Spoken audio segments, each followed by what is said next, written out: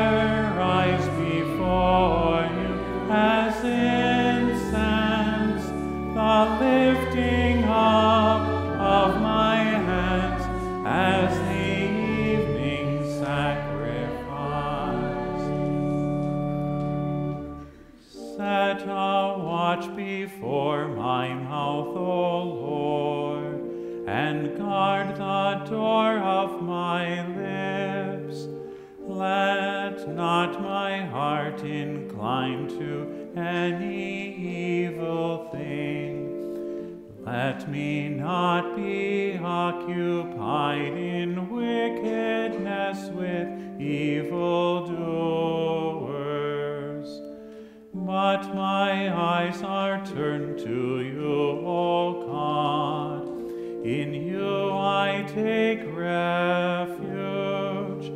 Strip me not of my life.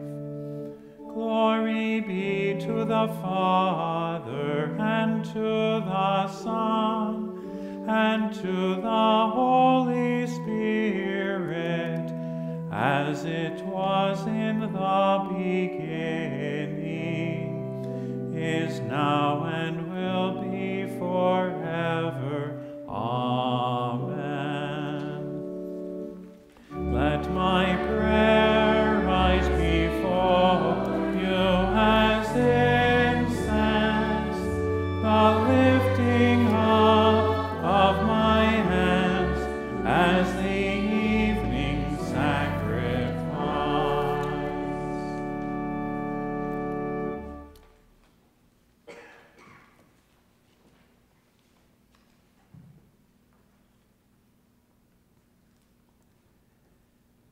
Let the incense of our repentant prayer ascend before you, O Lord, and let your loving kindness descend on us, that with purified minds we may sing your praises with the church on earth and the whole heavenly host, and may glorify you forever.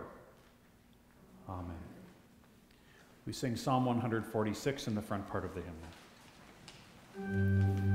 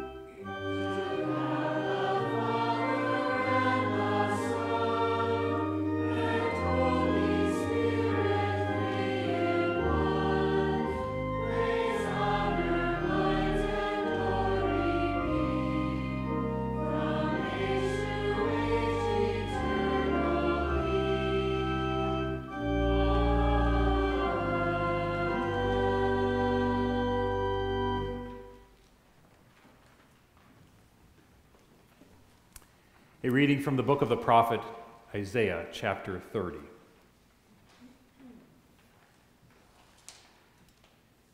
This is what the sovereign Lord, the Holy One of Israel, says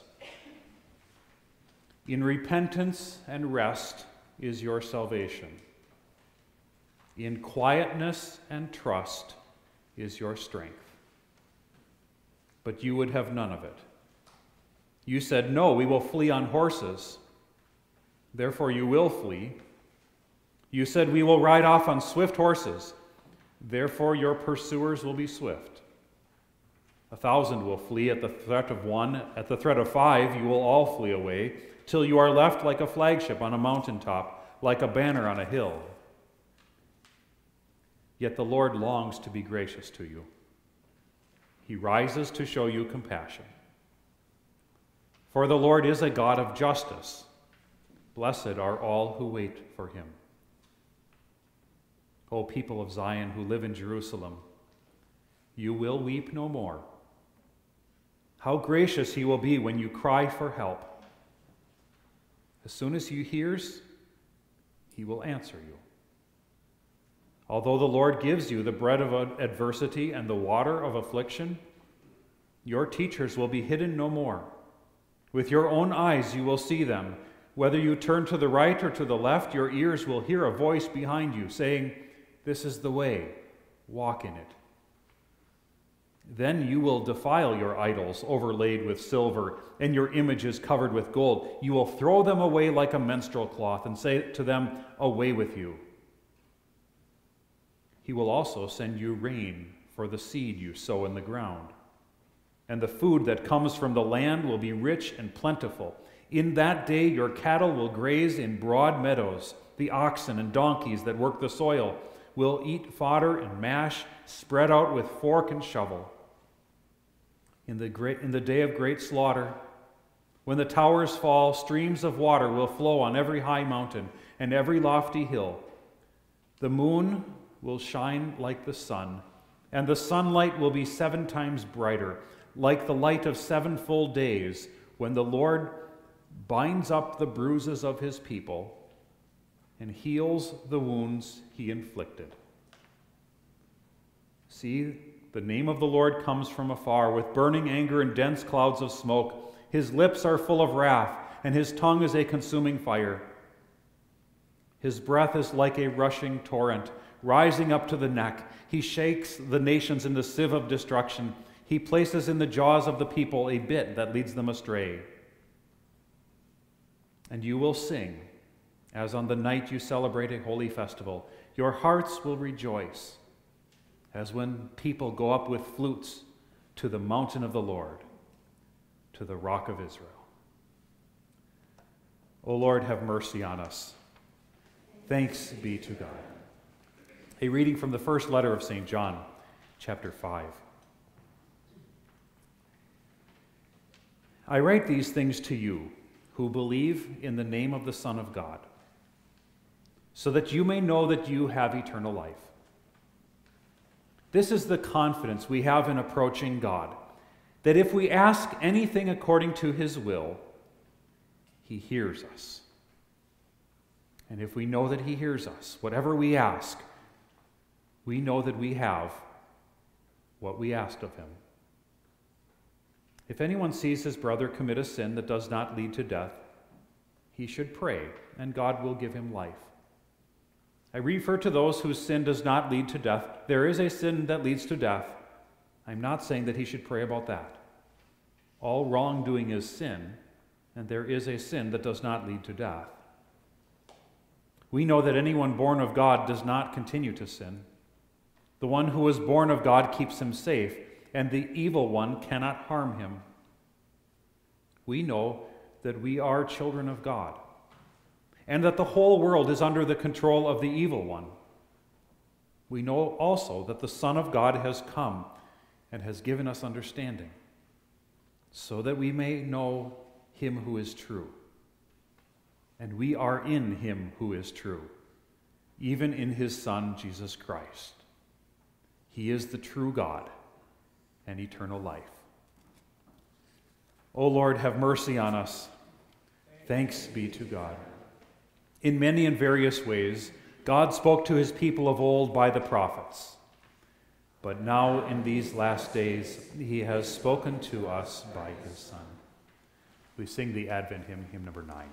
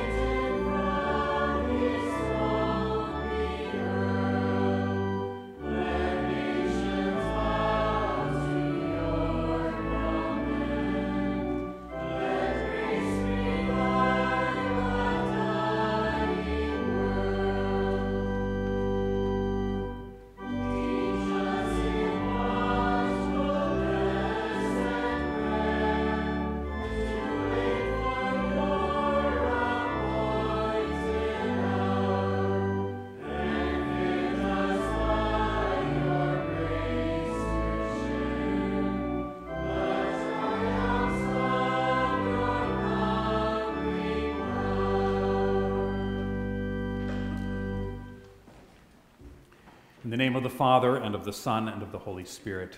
Amen. This Advent season for our meditation, as we anticipate our Lord's coming, I invite you to consider two aspects of Advent Evensong. Evensong is the name, it's used especially in, in England for Vespers. Vespers is part of what is called the daily office, daily services of prayer. In the morning, it's Matins, in the evening, Vespers, and at bedtime, Compline.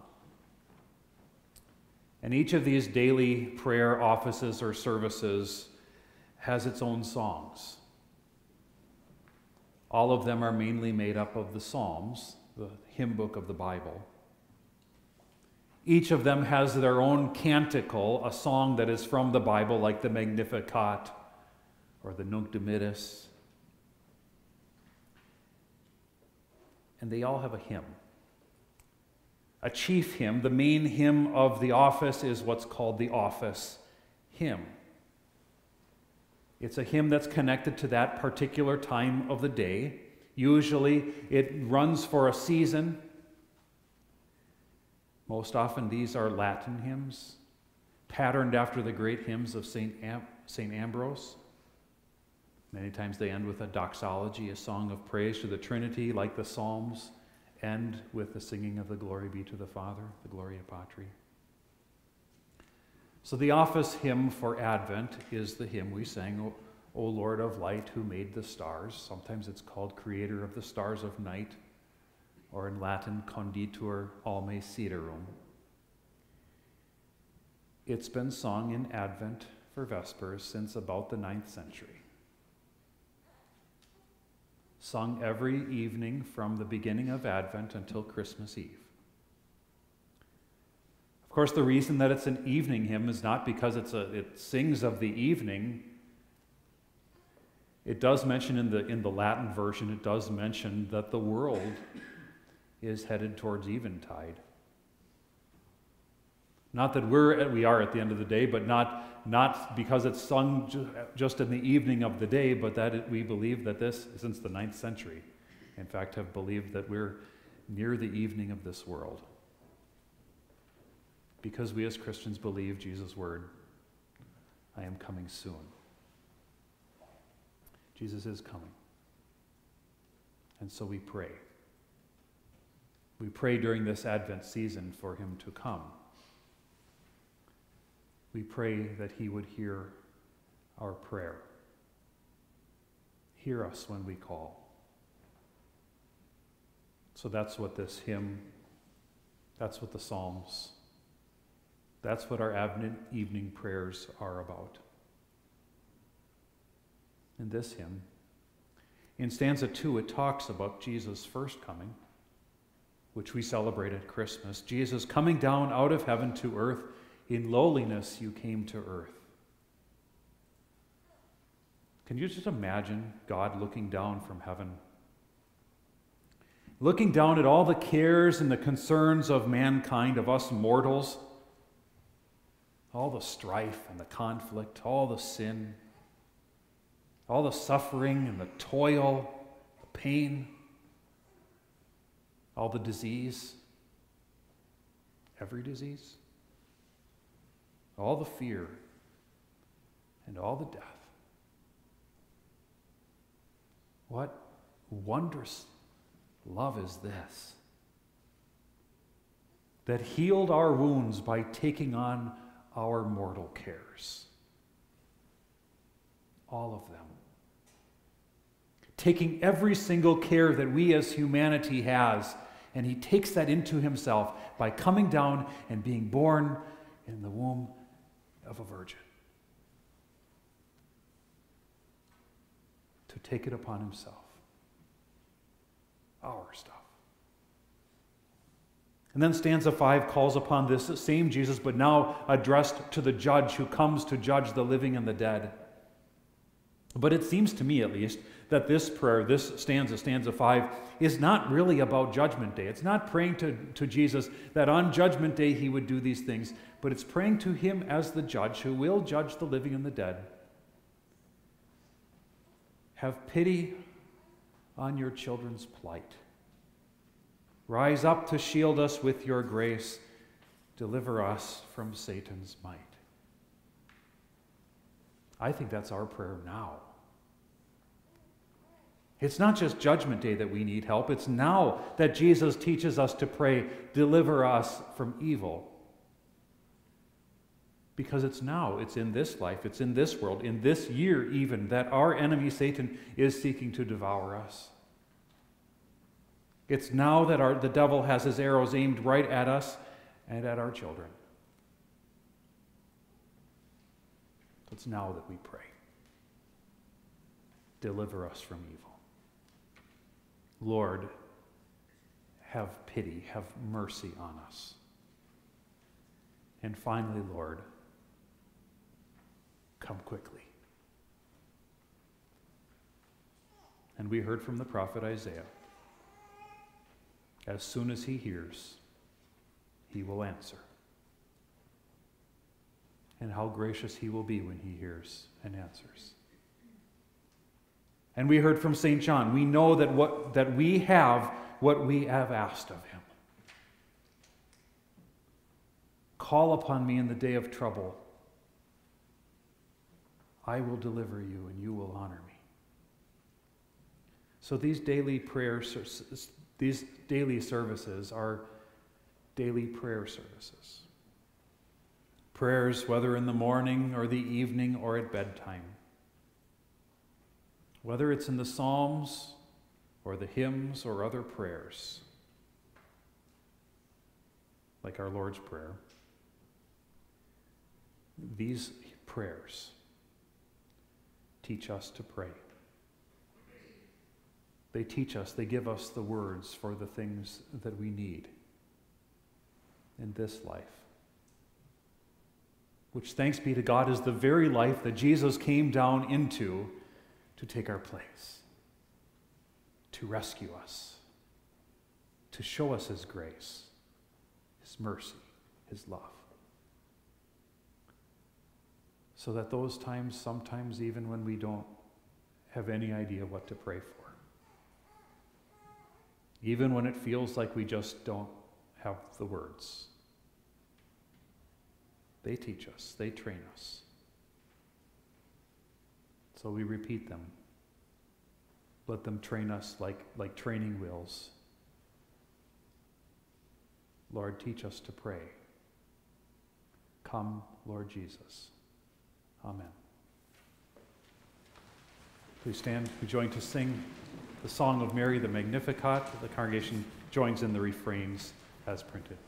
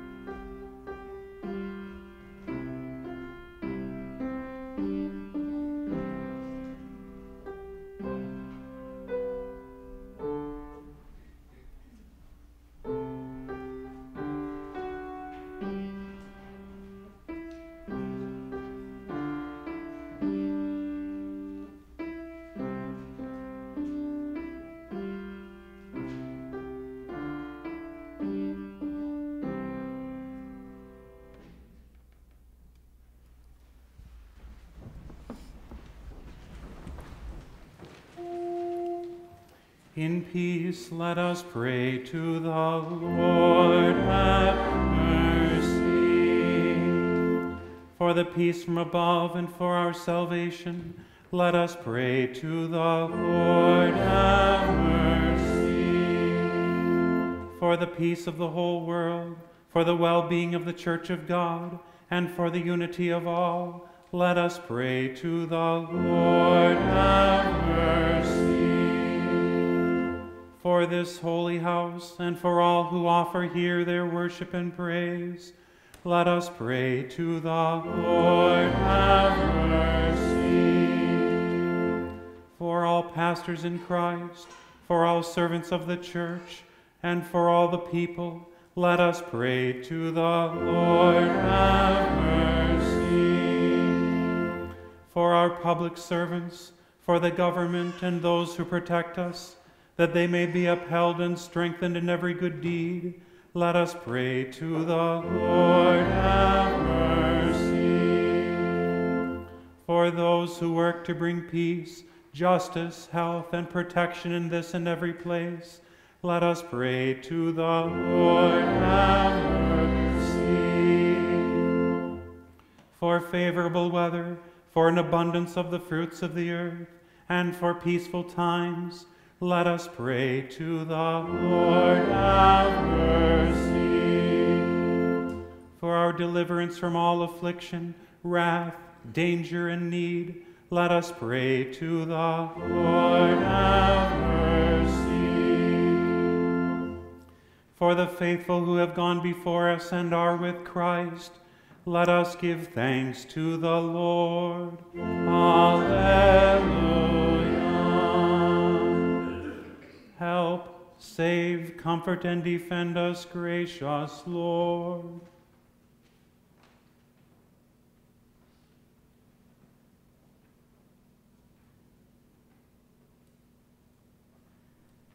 Rejoicing in the fellowship of all the saints, let us commend ourselves, one another, and our whole life to Christ our Lord.